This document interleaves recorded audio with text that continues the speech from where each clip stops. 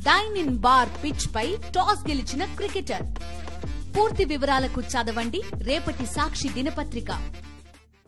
Delhi liquor scam కేసులో arrest అయిన MLC Kavitha దాదాపు ఐదు నెలల పాటు జైలు జీవితం గడిపారు. అసలు ఆమె అరెస్ట్ కావడానికి కారణం ఏంటి ఢిల్లీలో ప్రారంభమైన ఈ కేసుతో తెలంగాణకు సంబంధం ఏంటి? ఈడీ సిబిఐ కవితపై చేస్తున్న ఆరోపణలేంటి? మొత్తంగా ఈ కేసులో డే వన్ నుంచి ఏం జరుగుతోంది? ఢిల్లీ లిక్కర్ స్కామ్ పై రెండు వేల ఇరవై రెండు ఆగస్టులో సిబిఐ కేసు నమోదు చేసింది. ఈ కేసులో హైదరాబాద్కు చెందిన మద్యం వ్యాపారి రామచంద్ర పిల్లై వాంగ్మూలాన్ని సేకరించింది.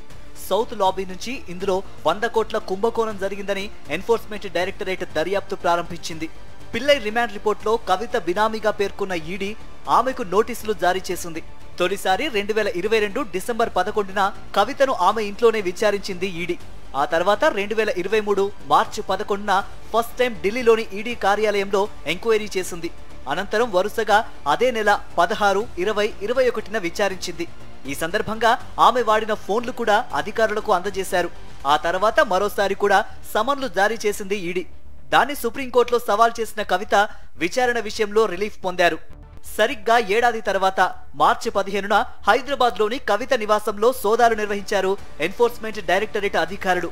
కొన్ని గంటల పాటు తనిఖీ చేసిన అనంతరం ఆమెను అరెస్టు చేసి ఢిల్లీకి తరలించారు. న్యాయస్థానం ఆదేశాలతో కస్టడీకి తీసుకున్న ఈడీ ఆమెను విచారించింది.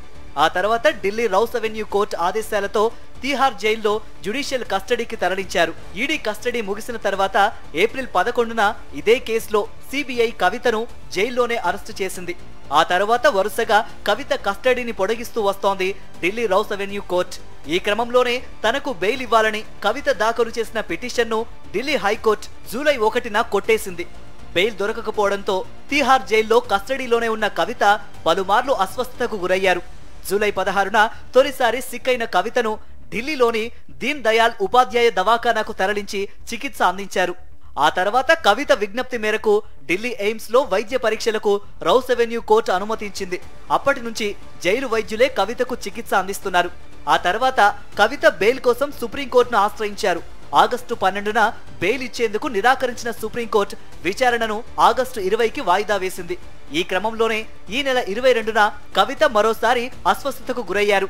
దీంతో ఢిల్లీ ఎయిమ్స్కు తరలించి ఆమెకు పరీక్షలు నిర్వహించారు.